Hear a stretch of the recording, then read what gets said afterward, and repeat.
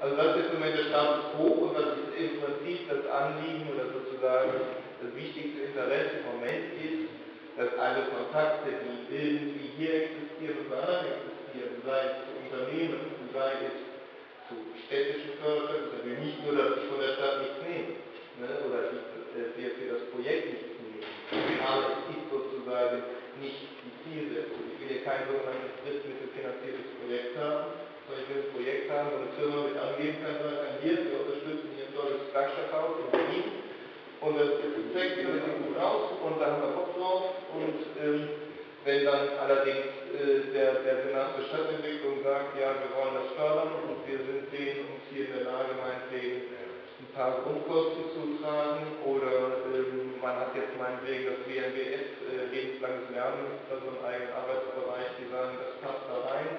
Äh, da würden wir, äh, können wir uns vorstellen zu unterstützen. Jährlich zum Beispiel eine Art institutionell, äh, äh, also es geht natürlich die Lohn, um die Lohnkosten auf Dauer, die sind natürlich der größte Batzen und die Lohnkosten äh, sind, äh, weil man eben hochwertige Arbeit und hochwertige Betreuung und Begleitung braucht, und zwar von Leuten, die darauf Bock haben und die da nicht in ihrem 2 Euro Job stecken, sondern äh, also ich stelle mir da eben vor, vielleicht für 2, 30 Leute, die da beschäftigt sind und die sind dann eben 20 oder 25 von denen sind eben jeden Tag für 5, 6 Stunden beschäftigt. Oder in der Woche auch, dass du sie findest, nur ich habe es im Mai in München erlebt, Ja. dass es ganz schnell umkippt, dass die einen dann wieder raus wollen. Das ist was Besseres oder die einen haben.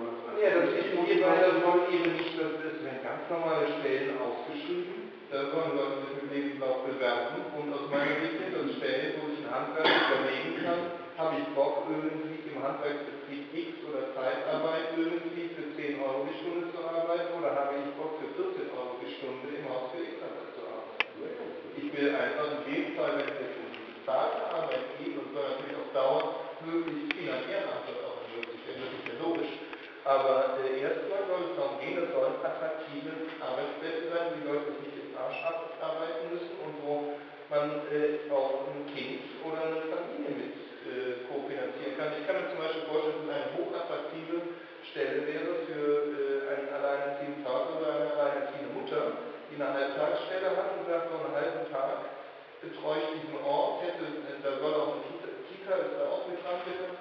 Äh, Ich kann da mein Kind selber unterbringen und mache derzeit betreue ich die Da meinetwegen selber. Das können ja auch genauso wie derjenige, der Schreiner, ein hochqualifizierter Schreiner, der dafür bezahlt ist, dass er da, wenn die Werkstatt leer ist, selber schreiben kann und dann das Halbzeit, Halbtags macht und die andere Hälfte des Tages, was weiß ich, was macht, ist doch eigentlich, ein, und wenn es ein ordentlich bezahlter Job ist, ich kenne so viele Leute, die verdienen hier 6 Euro, irgendwelche Top-Leute, die echt gute, qualifiziert sind, verdienen 6 Euro die Stunde beim Kellner. Also da kann man ja wohl besser äh, Das ist eine geniale Idee. Wenn du Also, Die Straße der Besten. das ist einfach der Ansatz hier soll, das ist sozusagen der eine der Dreh- und Angelpunkt. Man muss eine Art Technikprototyp Blauke, Blauke. als Beispiel irgendwelche Show Genau. von Nike. Die werden von Nike, da werden Tonschuhe von irgendwelchen komischen Straßentypen angesprayt. Und das ist irgendwie nichts anderes als ein leerstehende Gelage und Datenvokale und welche Nike-Tonschuhe abgelagert wird. Da zahlen die seit Jahren äh, pro Jahr 150.000 für. Ja, da brauchen wir nur ein Drittel von, und dann kann Nike meinetwegen seinen ganzen Container mit Tonschuhen Aber da, das war was, worum ich in München mal gebeten habe. Das ist das Leute Ja. es muss immer ein bisschen größer werden, aber man setzt es dort lieber in, wie soll ich sagen, im alternativen Bereich. Das ist ja auch okay, aber die Zeit hat sich ja verändert und ich glaube, das ist halt vielleicht auch wichtig, sozusagen als Grundvoraussetzung. Es hat sich unwahrscheinlich viel getan. Es ist ja, ich weiß noch, als ich, äh, ich habe 91 angefangen zu studieren, da waren die ganzen fertigen Berufe, Designer, Fotograf, Schauspieler und so weiter, war das ein Nischenberuf. Ja, das heißt also sowas zu machen, da dann noch eine Nische. Zehn Jahre später sind alle Schauspieler, Designer, äh, Fotografen und keiner kann mehr was in Anführungsstrichen. Und äh, das heißt also, wir haben einen Boom der kreativen Szene gehabt in den letzten Jahren. Wir haben die, das, was man früher die alternative Szene nannte, das waren also,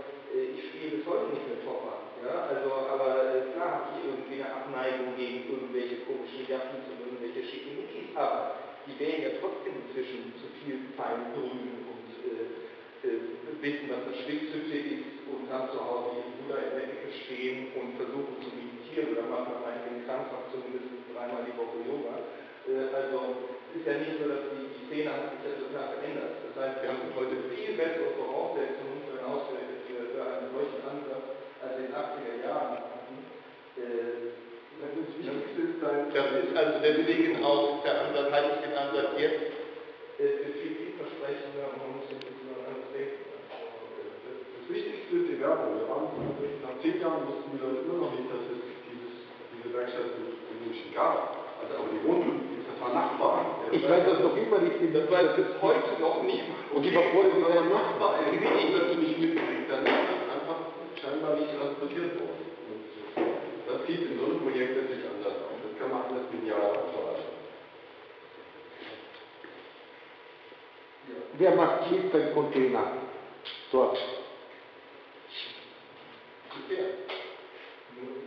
Kommt die mit der Karte einfach auch mit. Ja, über die Karte. Ich habe nämlich schon sowas ähnliches vor. Wirklich. Ja, das ist natürlich als Manier einfach nur und schnelle Unterstützung. Was glaubt mit Frauke? Na klar. Die heißt Frauke, meine ich. Was glaubt mit, mach mal mit. Die Widerstände sind viel billiger, Mann.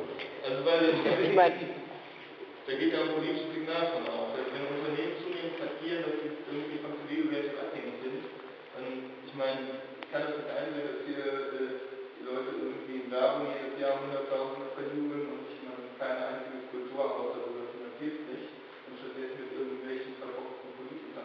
Wertung finanziert die Kulturhäuser in Berlin. Was sicher mit 100.000 noch mehr. Naja, aber A nimmt das ab irgendwie und B ist es irgendwie auch jetzt äh, noch erstmal in, der- in der traditionellen Version. Ne? Kulturhäuser wird schon finanziert. Gar nicht schlecht. Nur die Leute finanzieren sich die eigene Tasche das ist das ganze Problem. Ja.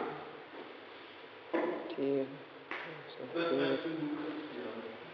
Genau, wenn ich mal wäre, auch mal zu anderen Ansätzen uns vorstellen wollen, das fände ich schön, dass wir dann irgendwann sozusagen die Diskussion auch immer so offiziell, also nicht jetzt sofort, aber irgendwann auch nochmal beenden können, dass die noch weiter wollen, weiter, aber vielleicht mal kurz noch die zwei anderen eingeladenen, äh, ja, eingeladen, Projekte vorstellen, aber wollt ihr nur mal ganz kurz sagen, was ihr in Potsdam so macht, einfach umreißen, das ist ja auch ein Ansatz, der auch von der Anstiftung oder Forschungsstiftungsgemeinschaft gefördert wird, genauso wie Kunststoffe jetzt, also wir bewegen uns noch unter einer Klammer. ja, wir sind aus Potsdam